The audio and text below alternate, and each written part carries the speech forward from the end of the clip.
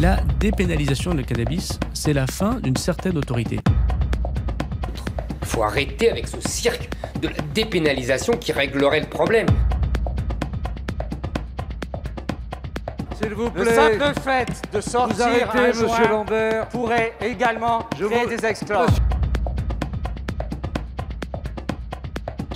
Mais je suis favorable à la légalisation du cannabis parce que je suis pas favorable au cannabis. Les résultats de la dépénalisation de la drogue, ça a été l'explosion de la drogue.